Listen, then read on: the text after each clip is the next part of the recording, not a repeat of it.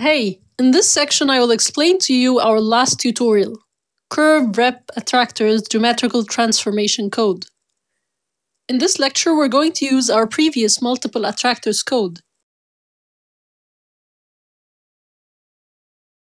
But first we need to clean it up a bit to be ready for the coming lecture.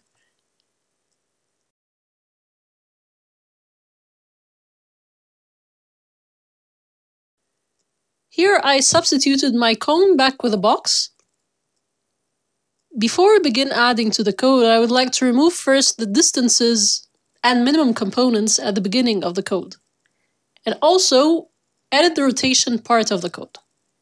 So, we will need to remove all the vector 2 points components except one, as well as removing all their minimum components. The connections will be as follows.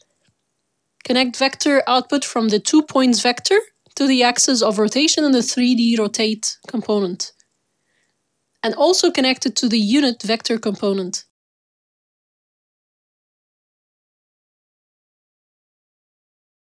Connect the grid points to the A input in the vector 2 points component and create a new point component and connect it to the B input in the vector 2 points component. In the coming lecture, I'll explain how to add a box as an attractor.